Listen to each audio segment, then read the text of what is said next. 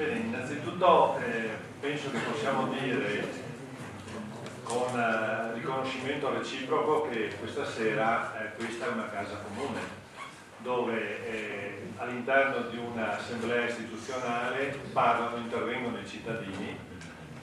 e in qualche modo si rendono trasparenti e anche leggibili le scelte, le posizioni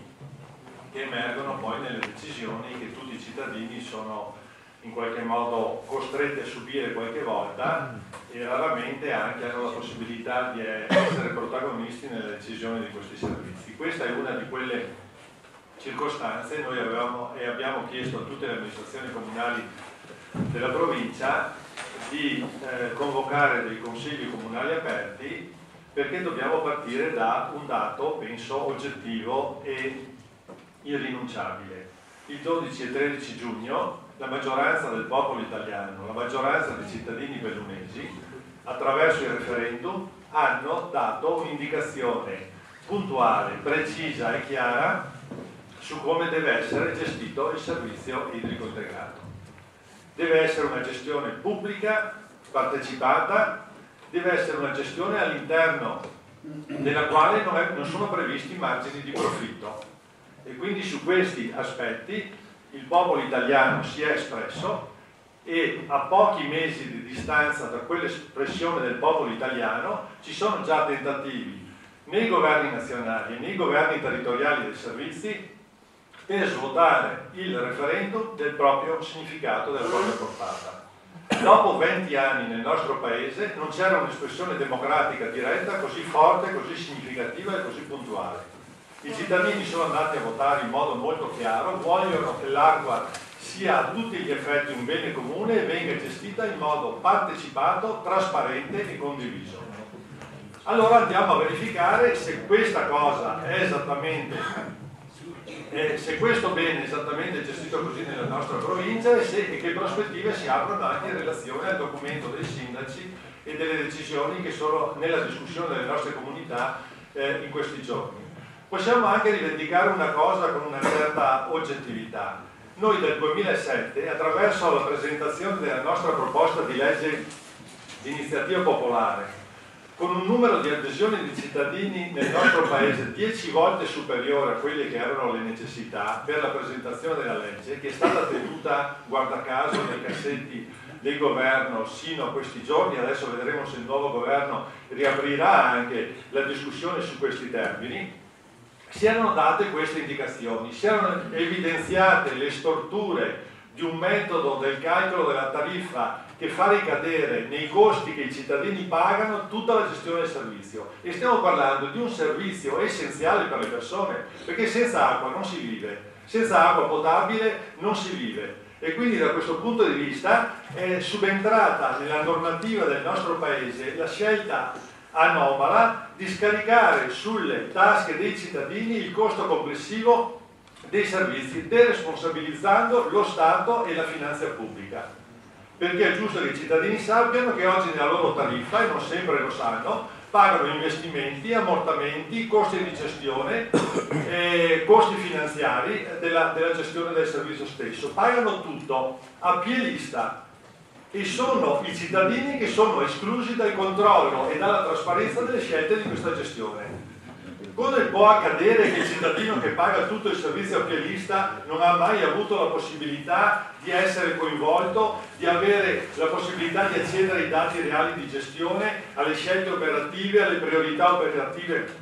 di questo servizio? E mi fa specie che un consigliere comunale dica eh, che eh, ci sono già gli amministratori che sono delegati a rappresentare eh, i cittadini in un servizio che in realtà pagano direttamente i cittadini eh, con la loro tariffa in modo assolutamente complessivo. Perché evidentemente se paghiamo tutti siamo chiamati tutti a decidere su come questo servizio deve essere gestito e questa è l'indicazione che ha dato il referendum. Allora anche qui noi non vogliamo assolutamente rimanere nella dimensione ideologica, vogliamo delle cose molto chiare come cittadini. Vogliamo innanzitutto che venga chiusa definitivamente la partita BIM-GSP, perché ha determinato un incremento e un aumento e un consolidamento di esposizioni debiti finanziari e di mala gestione determinata da scarsi e deboli controlli degli amministratori locali sulla gestione del BIM GSP e da una pessima gestione interna del BIM GSP. Su questi dati penso che tutti siano d'accordo. E chi non è d'accordo dovrebbe dimostrare che questo non è accaduto perché è esattamente accaduto questo e l'accumulazione dei debiti e delle esposizioni stanno a dimostrare esattamente questa cosa, che si tratti di errori e di scarse valutazioni sui consumi reali, che si tratti di trasferimento nel tempo dell'aggiornamento delle tariffe rispetto a questi mancati consumi, che si tratti di appalti non sempre trasparenti, che si tratti di organici enfatizzati in modo irrazionale e con competenze all'interno degli organici che non erano quelli utili per questo servizio, tutto questo insieme di cose e hanno determinato questa situazione e mi fa specie che qualcuno dica che se fossero stati privati la situazione sarebbe stata diversa perché questa è esattamente la conseguenza di un modello di gestione privatistica proprio dell'SPA proprio dell'SPA.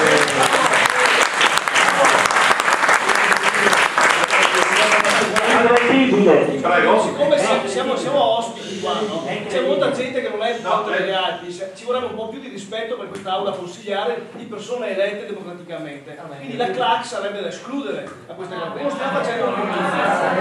Non stiamo facendo un comizio. Calma, allora, calma, calma, riprendi mano là, fermi. Io sono ancora anche un paio d'anni presidente di questa assemblea. No, non siamo in campagna elettorale. Mi sembra che dall'intervento eh, si capisce insomma di No, ma guardi, la campagna elettorale è seduto. Ma noi siamo consiglieri comunali, lei no? Allora, allora, termini, di termini che è ospite qua. E ringrazio che Gigi scusa, consigliere degli altri. Siamo stati, accusati che non siamo Walter, scusa grazie allora eh, io vorrei un, un invito a tutti. Se vogliamo che queste occasioni di democrazia si ripetano, senza che i sindaci, miei colleghi, abbiano paura di convocare consigli comunali aperti, io chiedo a tutti, perché questa è la verità, io non ci giro attorno al problema, eh, forse noi siamo, non lo so, un po' più pregiudicati degli altri nel, nell'incoscienza ogni tanto, però eh, dico tutti, siccome non abbiamo assolutamente nulla da nascondere e nulla da recriminarci e cerchiamo di fare al meglio la nostra attività civica in seno all'amministrazione di Ponte delle Alpi, io chiedo a tutti eh, un contenimento del contenzioso, anche perché voglio veramente che da questo Consiglio Comunale vengano fuori considerazioni utili per migliorare quel documento, per affrontare con più serenità la, le sfide, io le chiamo così, del futuro, perché sul passato ormai credo che tutti abbiamo detto abbastanza e abbiamo già eh, messo gli accenti che andavano fatti sulle gestioni del passato. Io però ho il compito di guardare a domani a come gestire questo secolo. Quindi invito, questo è un invito veramente caloroso a tutti i consiglieri comunali, il pubblico, eccetera, eccetera. Grazie. Allora, e, e, anche a essere abbastanza eh, concentrati concentrati nelle dichiarazioni, grazie. Sono assolutamente concentrato, non ho citato null'altro che quello che emerge anche nello stato di esposizione, debito e criticità finanziaria indicato dagli stessi sindaci, quindi non ho fatto alcuna affermazione, diciamo la situazione oggettiva è questa, ci sarà chi avrà delle responsabilità sul piano eh, politico, sul piano personale, abbiamo sentito che la, la, Corte dei Conti verificherà questi dati e quindi evidentemente saprà e speriamo sia in grado di leggere con puntualità i bilanci così come si sono consolidati. Siccome non è nostra abitudine chiedere un radicale cambiamento senza fare delle proposte, noi abbiamo presentato in Parlamento una proposta di legge di iniziativa popolare su come dovrebbe essere gestito il servizio pubblico integrato alla luce del, del fatto che stiamo gestendo un bene comune e quindi con una dimensione partecipata. A livello territoriale abbiamo indicato alla delegazione dei sindaci quelle che sono le nostre proposte puntuali. Chiediamo chiudere la stagione di BIM GSP con tutte le responsabilità che questo ne compete e eh, eh, dare indicazione ai saggi, mi, mi, mi, non so se il sindaco lo ha dimenticato questo o non va citato, di dare indicazione, perché questo era emerso nella riunione con i sindaci,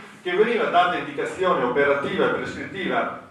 ai tre eh, tecnici di costruire il passaggio da una gestione SPA di diritto privatistico ad un'azienda speciale di diritto pubblico. Nel consiglio di amministrazione dell'azienda speciale di diritto pubblico pensiamo che ci sia una componente di tre tecnici e di due rappresentanti indicati dalle popolazioni, dai cittadini, delle associazioni territoriali come gesto di trasparenza e anche perché sono poi i cittadini che pagano di fatto il servizio. Chiediamo che contestualmente venga istituito un comitato di sorveglianza composto dalle organizzazioni territoriali, dalle organizzazioni dei lavoratori del servizio, dalle organizzazioni di cittadinanza con compiti di controllo e di proposta da questo punto di vista. Per quanto riguarda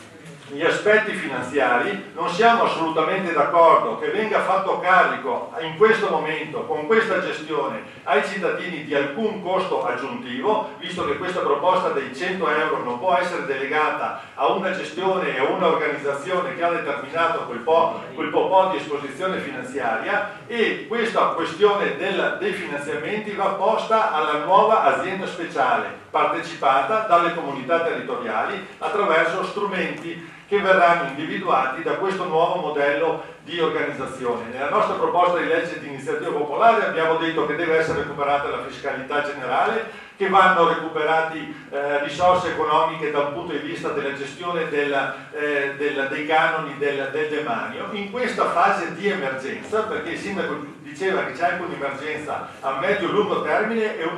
un'emergenza nell'immediato. Nell'immediato noi diciamo che il consorzio BIM con le proprie risorse si faccia garante di copertura delle necessità immediate di BIM GSP per il funzionamento del servizio